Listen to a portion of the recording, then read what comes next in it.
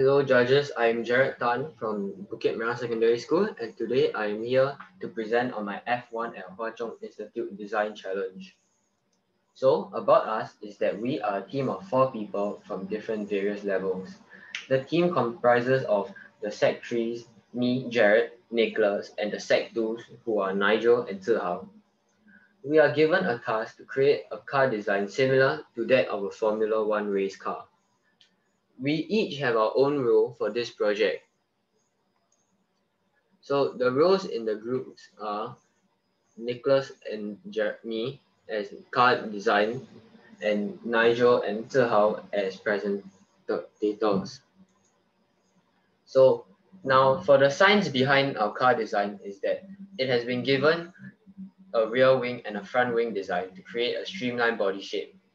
So the front wing has a very wide yet triangular shape to be able to allow it to go against the wind that is opposing it in throughout motion. And its wide shape has been given to block the wind from the from the wheels and interrupting it. Now the back wing on the other hand has a triangular shape to allow for wind to pass through it just like the front wing which helps to further reduce air resistance and resulting in quicker speed.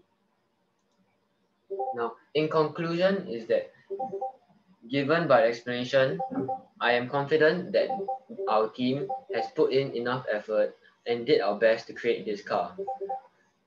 Though we might not get first place in this design challenge, we are able to demonstrate teamwork and resilience and learn much more values throughout this entire progress. I have come to the end of the presentation. Thank you for your kind attention. Have a good day.